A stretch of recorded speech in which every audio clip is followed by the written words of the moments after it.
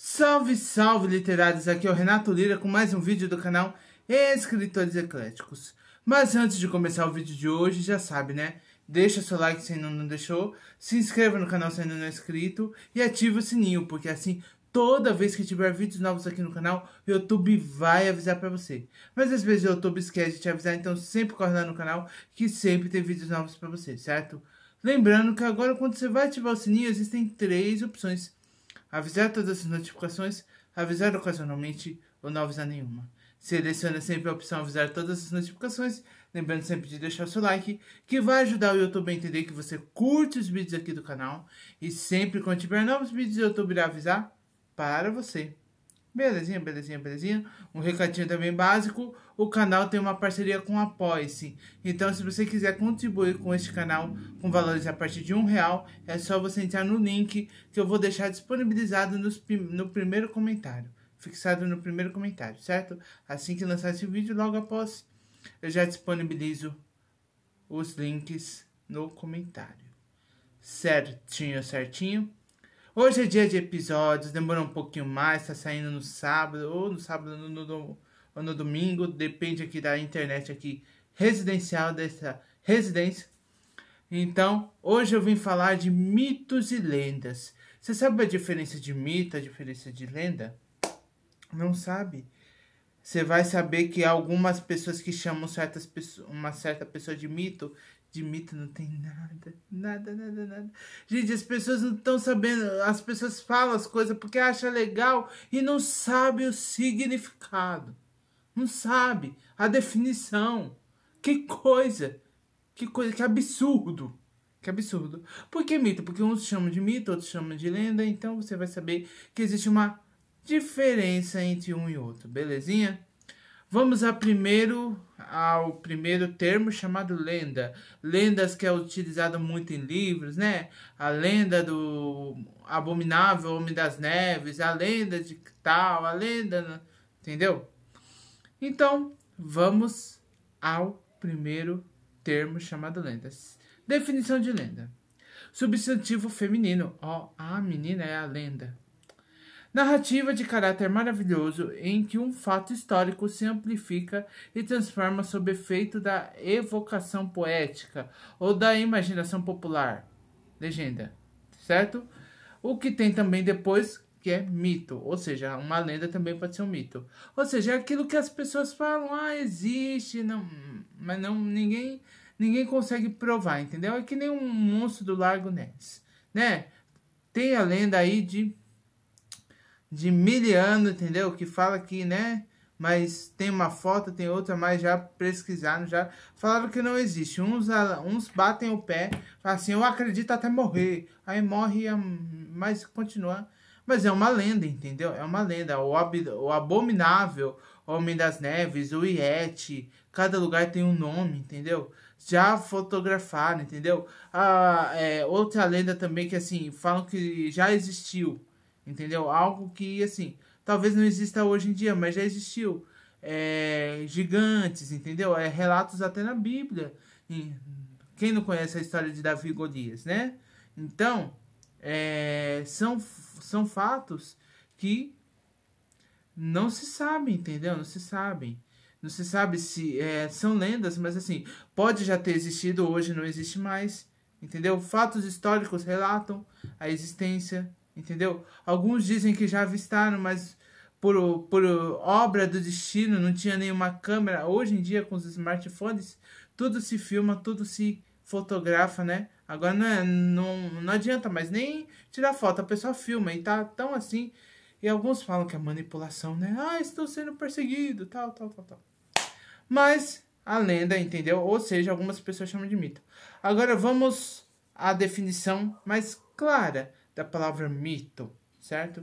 Que eu também pesquisei aqui. Ah, eu sou um garoto muito pesquisador. Brincadeirinha, galera. Eu fui no Google mesmo. O pai dos burros tecnológicos. É... Vamos lá. Mito. Mito. Mito, mito, mito, né? Substantivo masculino. Relato fantástico ou tradição oral. É, geralmente pro, protagonizado por seres que encarnam as forças da natureza e os aspectos gerais da condição humana. Lenda. Narrativa acerca dos tempos, dos tempos heróicos que guardam fundo de verdade. Ou seja, o mito que estão chamando hoje em dia de mito não tem nada, tá? Alguém já viu encarar as forças, o nosso presidente é, encarnar as forças da natureza? Alguém já viu ele pegando fogo? Ele jorrando água?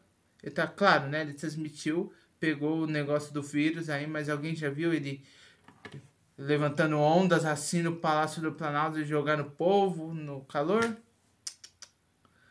Então, galera, é, eu acho assim, você quer, você quer é, enaltecer uma pessoa, ou seja um presidente, seja uma pessoa política, seja um cantor, seja. Certo, né? É que nem a. É que nem a cantores e cantoras que falam, ai, minha rainha, a rainha dos baixinhos, a dama da TV brasileira, tudo bem, são, são, entendeu? Aí tudo bem, né? Realmente é uma referência para crianças, tudo. Mas, gente, mito, mito, eu acho que é um pouco demais. Eu acho que as pessoas têm que saber o que estão falando, não ir por Maria vai com as outras para saber pelo menos o significado daquilo que elas estão falando, não é? Então, pessoal, você pode saber, você pode usar tanto lenda como mito na sua história, desde que vocês saibam. É, por exemplo, vai existir casos fantásticos da história que vai exigir mais lendas, entendeu? Por exemplo, a lenda do rei Arthur, do, do rei Arthur, saiu até filme, entendeu? Da espada que o verdadeiro rei conseguia tirar a espada da rocha, entendeu? Várias séries, várias séries, várias, várias, é, vários filmes utilizaram lendas e fatos históricos para incluir em suas histórias, entendeu? Vários, os gigantes, os orques, Entendeu? São tudo coisas fantásticas, gente. Talvez a, a própria pessoa criou aquilo, mas aquilo ficou tão forte na sua história, mas que nunca existiu de fato. Só existe na história. É diferente de gigantes que foi casos relatados não só na Bíblia, mas em muitos. Foram relatos de pessoas que presenciaram aquilo. Agora existe fatos de existe criaturas que elas só são utilizadas nas histórias, em que não são famosas por, por alguém ter avistado, entendeu? São coisas assim que você tem que analisar, entendeu? Eu acho que eu vi esses dias, não sei aonde, foi encontrado uma pegada de um gigante petrificada, sabe? É, fossilizada de um pé assim, enorme. Que assim, gente, a, é coisa até de, de de anatomia, de quem é da saúde fala. Quanto mais alta a pessoa é, maior tem que ter o pé da pessoa. Porque se a pessoa for muito alta e tem um pé muito pequeno, muito desproporcional, a pessoa não, o pé não se sustenta, entendeu? A pessoa fica caindo. Então, a pessoa quanto mais alta, mais pé, o pé é maior, entendeu? Por questão de proporções, é, por, por proporções físicas, beleza? Então, galera, é aquele, é aquele negócio. Então, esse encontrou. Então, muito. Tem gente que fala que gigantes é, é na própria na, na própria Bíblia fala, é, não sei se é na Bíblia, já falou que gigantes eram frutos de anjos com humanos. Nasci, era assim que se nasciam os gigantes. Gente, e também fala que anjos são são seres assexuados, né? São seres divinos.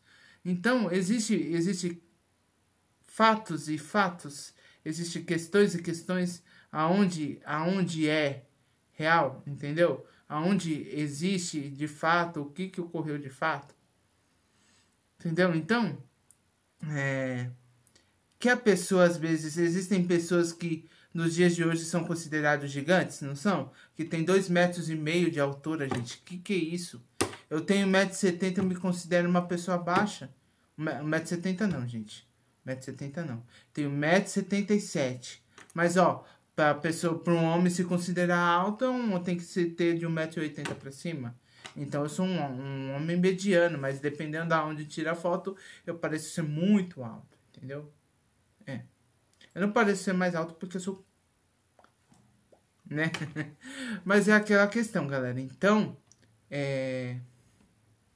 Vamos analisar, não vamos sair chamando porque um, ouviu meia dúzia de gato pingado chamar e chamar e ser Maria vai com as outras. Procure, procure o termo, certo?